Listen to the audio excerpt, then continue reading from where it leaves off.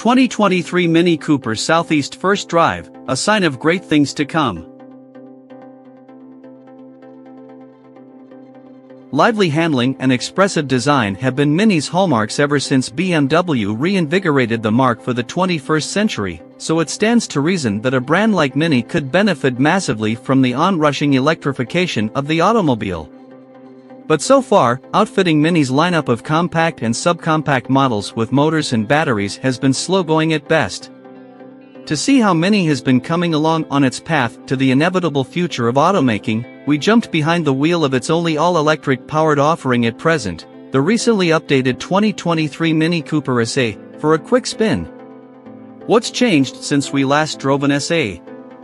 In case you missed our initial coverage, the Mini Cooper SE isn't just an electrified version of the base Mini hardtop coupe. Mini actually started with the hotter Cooper S trim when building its SE EV. Although it no doubt would have been better to start from a dedicated electric platform, we appreciate that Mini set out to lend some sportiness to its first ever mainstream consumer EV. When we first tested the 2020 Cooper SE, we enjoyed its entertaining driving dynamics and model-specific styling cues, but we also found it to be lacking in other areas. Mini attempted to make the Cooper SE a bit more appealing with a refresh for 2022 that included new technology, cosmetic changes, and most important an improved EPA-rated range of 114 miles.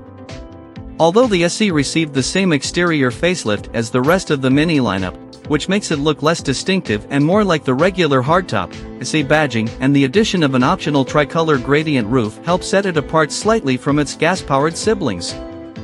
Mini also reworked the hardtop's interior with a reshaped dash and modified air vents, a standard digital instrument cluster, and a standard 8.8-inch infotainment display. And for the 2023 model, Mini added more paint and upholstery options, standard Apple CarPlay, and a new special Resolute edition. The good. The Mini Cooper SE's new face is kinda cute, sort of like a Pokemon you can drive, and it's only available in a two-door body steel, a positive to us in a world where the number of true coupes is drastically shrinking. The roof gradient effect is also very cool in real life, and Mini even affixes a small roof spoiler that enhances the sporty look. The inside is as distinctive as the exterior but remains fairly ergonomic despite the quirky design. As with the gasoline models, the SE's power switch is a tab that's laid out within a row of switchgear, adding a little bit of fighter pilot fun to starting up the car. Mini also equips the SE with a conventional shift knob, a reminder that this is a transitional vehicle between the existing line of hardtop variants and what Mini says will be a dedicated EV platform in the future. Rather than positioning the regenerative braking mode selector as a click down from drive, Mini places the selector switch amid the rest of the car's hard controls on the center stack. Drivers can select between the standard mid setting, the more responsive sport mode, the frugal green mode, and the super conservative green plus mode. As one would expect, sport mode is by far the best way to have fun in the Cooper SE. A single motor drives the front wheels, spinning out 181 horsepower and 199 lb-ft of torque.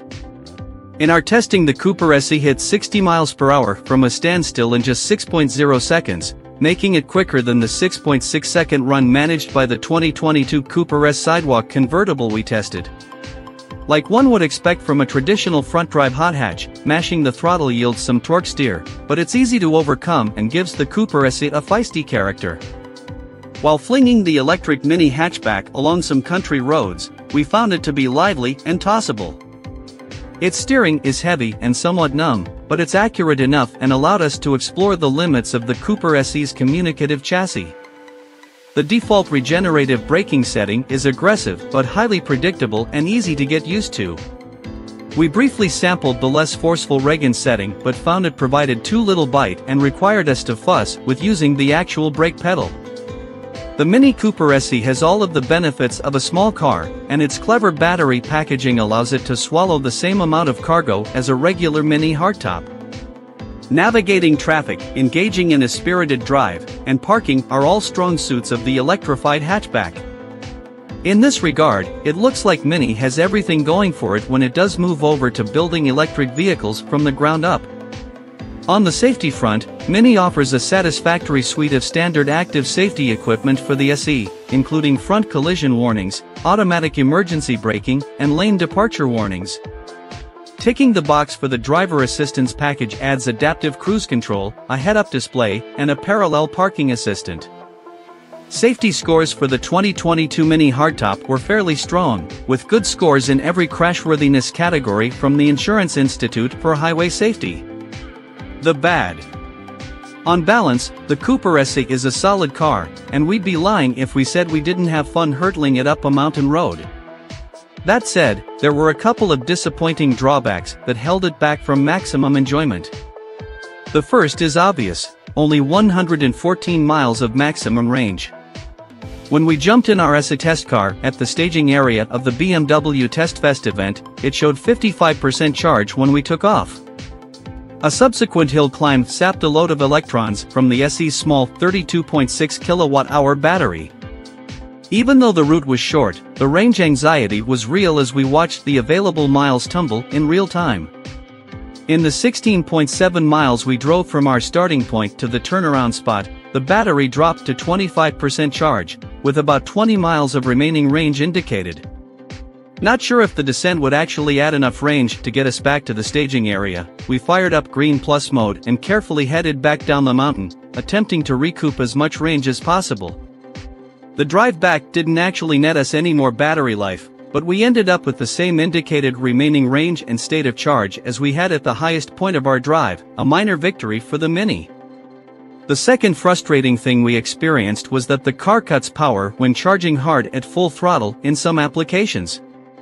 This impinges on its hot hatch character, making it hard to rely on for the sporty performance that it otherwise delivers so well. Finally, the Cooper SE rides fairly stiff and allows in a decent amount of road noise, so buyers who live in areas with a lot of poor roads should be wary. And although we appreciate that CarPlay is now standard, the 8.8-inch infotainment display feels pretty small, partly because of its location within the giant ring that Mini still slaps in the center of the dash. To heighten the Cooper SE's appeal, it would behoove Mini to also include Android Auto in the future. These deficiencies make it hard to recommend the Cooper SE as it is to most folks that need something for anything more than city commuting. The verdict. As it stands, very few electric cars exist on the entry-level side of the market. Fortunately, Mini prices the Cooper SE on the affordable side, though its starting price comes out higher than rivals like the Nissan Leaf and Chevrolet Bolt EV, both of which offer more range and an extra set of doors. A signature trim base model with no options starts at $34,750. Stepping up to the iconic trim like the one we sampled adds roughly $2,500 to the starting price and picks up more customization options, a head-up display, piano black exterior trim, navigation with traffic monitoring, a garage opener, and parking sensors. With an optional Mini Yours leather lounge interior tacked on for $500, the Cooper SE we drove stickered at $38,250, a sum we're not shocked to see for a sporty and well-equipped hatchback. Either way, Mini packs a lot of features into a modestly priced vehicle.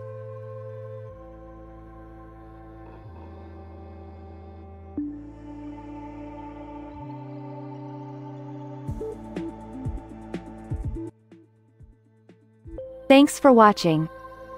Drop a like. Leave a comment. And don't forget to subscribe to watch more videos like this.